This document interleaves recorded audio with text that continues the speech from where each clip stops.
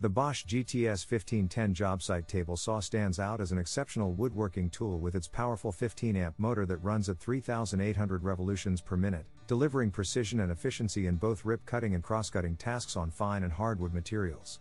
One of its standout features is the convenience brake, bringing the blade to a halt in just about 3 seconds, enhancing productivity and safety.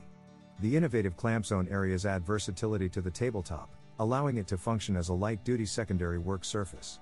The open frame design, complete with a roll bar, ensures durability without compromising on portability, making it an ideal choice for job site mobility.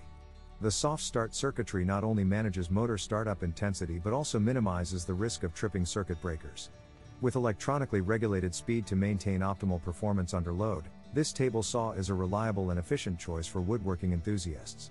The inclusion of the GTA50W gravity rise wheeled stand further enhances portability, providing easy setup and takedown with a single action.